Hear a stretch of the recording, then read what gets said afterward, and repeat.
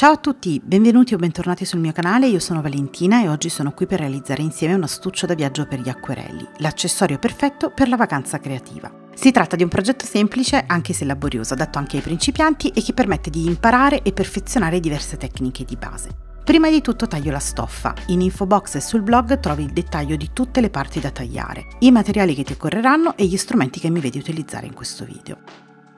Comincio con l'assemblare il pannello esterno. Quello che dobbiamo fare è cucire i tre pannelli principali alla stoffa che ci occorrerà da spessore per contenere tutto il materiale da disegno. Sistemo dritto contro dritto il primo pannello da 20 x 26 cm e lo spessore da 7 cm, allineandolo sul lato lungo di destra. Segno il centimetro di margine sul retro per cucire con maggior precisione ed essere sicura che poi tutto combaci quando andrò ad assemblare le parti e cucio appunto dritto con un filo in tinta. Vado avanti in questo modo aggiungendo sempre sulla destra il secondo pannello da 20 x 26 cm utilizzando la stessa tecnica. Segno il margine con il gesso colorato aiutandomi con un righello Omnigrid, fisso con gli spilli e cucio. Procedo così fino a che l'esterno dell'astuccio non sarà completo. Avendo scelto una stoffa molto leggera vado a utilizzare un'interfodera termoadesiva di rinforzo, questa è la Decovil Light. La posiziono con un centimetro di margine sia sopra che sotto e facendo attenzione a restare dentro le cuciture che ho già fatto. La applico con il ferro ai tre pannelli principali facendo molta attenzione ai bordi. Stiro anche a rovescio per essere certa che la colla si sia completamente attivata. Metto da parte e procedo con l'interno dell'astuccio. All'interno avremo tre zone ciascuna con tasche specifiche per contenere il materiale artistico. Parto dal primo pannello a sinistra e vado a realizzare le tasche per contenere la palette e altre utilità. Piego a metà e stiro la piega del quadrato da 22 cm. Ci servirà per realizzare una tasca doppia e infatti segno una linea a 9 cm e mezzo dal bordo sinistro. Segno anche la metà, circa un centimetro dal bordo superiore della tasca che sarà a destra perché in questa zona andrà a cucire il velcro. Questa tasca conterrà la palette e per non farla scivolare via nel trasporto ho deciso di fermarla con una fettuccia fettuccia che vado a realizzare con la stessa stoffa. Piego e stiro il rettangolo da 4 x 12 cm come mi vedi fare in video, ripiegando i bordi piccoli all'interno e poi ripiegando in quattro parti e poi in due la stoffa. Mi aiuto con il ferro da stiro per fermare le pieghe, fisso con gli spilli e vado a cucire lungo il bordo il più possibile vicino al margine. Se hai una stoffa più leggera della mia puoi aiutarti con un righello resistente al calore che ti aiuterà ad avere orli più precisi. Quando cuci la fettuccia procedi piano e con cautela per ottenere un risultato perfetto. In cima a questa fettuccia vado a cucire anche una delle due parti di un pezzetto di velcro e andrò a sistemare l'altra sul punto della tasca che avevo segnato in precedenza. Intanto ho anche ribattuto la piega della tasca con una cucitura vicina al margine. Sistemo la stoffa della tasca centrata e allineata al bordo inferiore sul pannello e cucio lungo la linea che avevo tracciato. Allineo i bordi laterali a quelli del pannello sottostante e vado a cucire. Dovendo queste tasche contenere materiale con un certo spessore ho pensato di realizzare delle pence in modo che accolgano tutto il materiale con comodo senza segnare o tirarsi. Per vedere nel dettaglio come realizzo le pens guarda il video fino alla fine. Una volta fissate le pens cuci anche il lato inferiore e la tasca è completa. Non resta che fissare la fettuccia con il velcro che terrà la paletta al suo posto durante il trasporto. Nella parte superiore di questo pannello voglio mettere una tasca con elastico che accoglierà i barattolini che uso per l'acqua. Appaio dritto contro dritto i due rettangoli da 9 x 27 cm e vado a cucire sui lati lunghi. Risvolto e stiro per appiattire le cuciture, poi vado a praticare una cucitura da 1 cm dal bordo superiore per realizzare una coulisse che conterrà l'elastico. Faccio passare i 20 cm di elastico con un ago passanastro. Quando avrò raggiunto il margine della stoffa lo fisso da un lato con alcuni punti.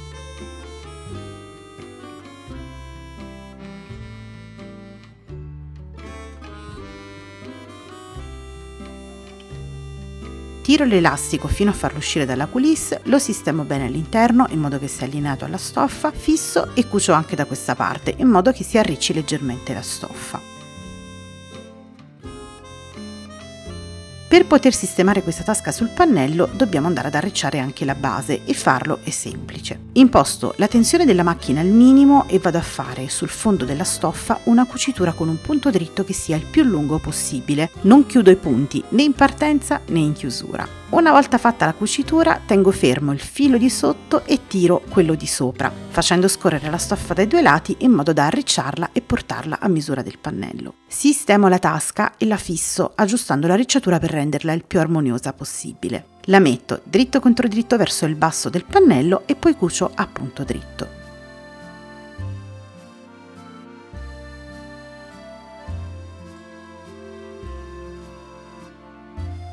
Ora posso tirarla verso l'alto e sistemarla con un colpo di ferro e poi non resta che cucire ai lati perché la tasca sia pronta.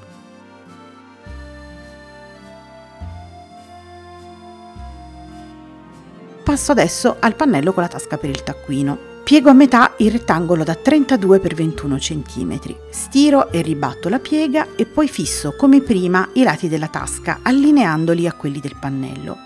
Anche qui ho un'abbondanza di stoffa che mi occorre per contenere lo spessore del blocco, quindi faccio le pence e poi cucio anche il lato inferiore.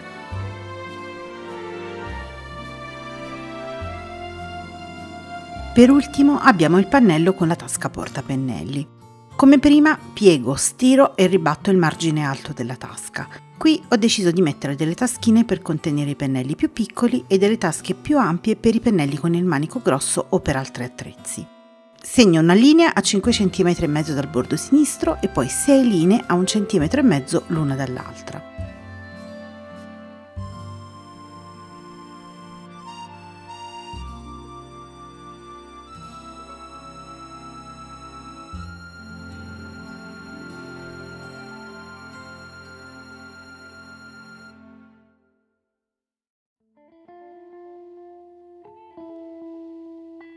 Centro la stoffa della tasca sul pannello, allineandola al bordo inferiore e vado a cucire con un punto dritto lungo le linee che ho segnato. Allineo i lati a quelli del pannello, li fisso e vado a cucirli e anche qui mi occupo dell'abbondanza realizzando delle pence.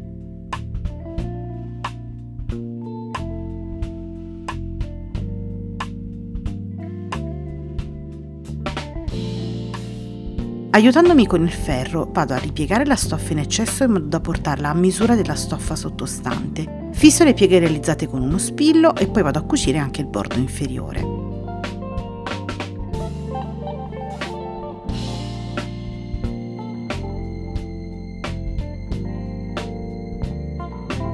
Sistemata anche questa tasca possiamo occuparci delle rifiniture. Vado ad appaiare i trapezzi che mi occorrono per le alette superiori dritto contro dritto, stoffa esterna contro fodera. Io ho usato il bordo di un bicchiere per stondare gli angoli superiori.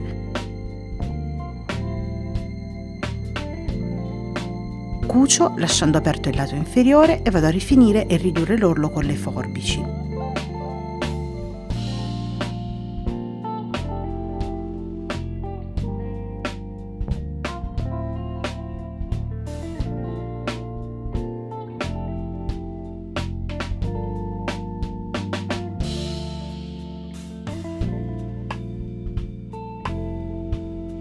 Pratico dei taglietti lungo le curve, in questo modo risvoltando il lavoro non avrò eccessi di stoffa.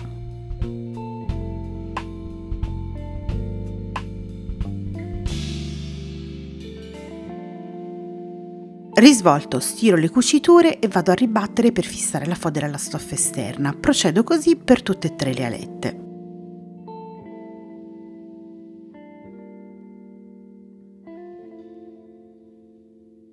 Mi occupo poi del tovagliolo che userò per asciugare e pulire i pennelli. Ho tagliato due quadrati, uno dalla stoffa esterna e uno di spugna, e vado a unirli dritto contro dritto.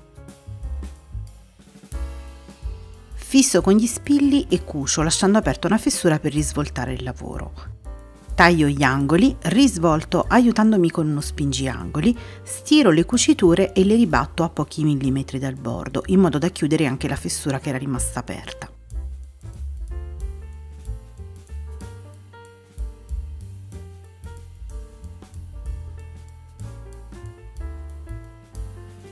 Non resta che assemblare l'interno dell'astuccio proprio come abbiamo fatto con l'esterno, unendo quindi i pannelli agli spessori con cuciture sul retro. Dovrei avere il pannello per la paletta a sinistra, seguito dallo spessore di 5 cm, poi il pannello dedicato al taccuino e lo spessore da 2 cm e mezzo, infine il pannello con le tasche portapennelli.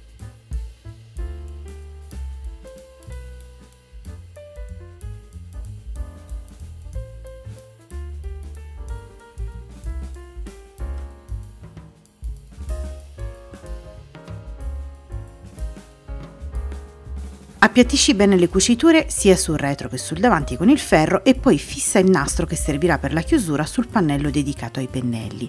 Piega il nastro a metà, sistemalo rivolto verso l'interno dell'astuccio e bloccalo con uno spillo. è il momento di unire le due parti principali dell'astuccio. Andiamo ad appoggiare dritto contro dritto l'esterno sull'interno, avendo cura di allineare bene cuciture e spessori. Andiamo a cucire restando sul margine esterno dell'interfodera e lasciando completamente aperto il lato superiore. Risvolta il lavoro delicatamente e aiutati con uno spingiangoli per avere un risultato perfetto.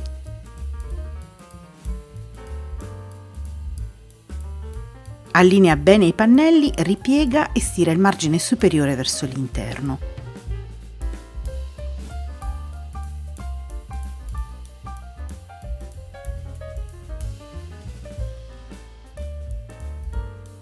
Non resta che inserire le alette protettive allineandole e fissandole ai tre pannelli principali e cucire il margine superiore restando a qualche millimetro dal bordo.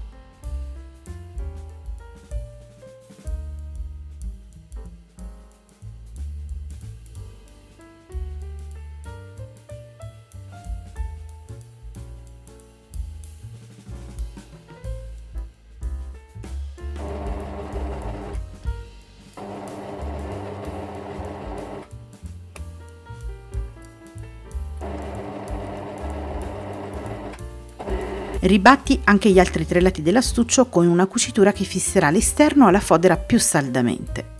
L'astuccio è pronto ad accogliere tutto il mio materiale di viaggio e ad accompagnarmi in giro per il mondo.